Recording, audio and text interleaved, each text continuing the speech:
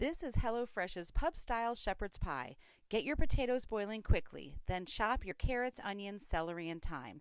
Then get a medium sized pan heated with a drizzle of oil. Get your vegetables into the oil and saute, and put some butter and sour cream into the potatoes. Mash up your ground beef, add the flour, add the tomatoes, and then you're going to add your beef stock as well.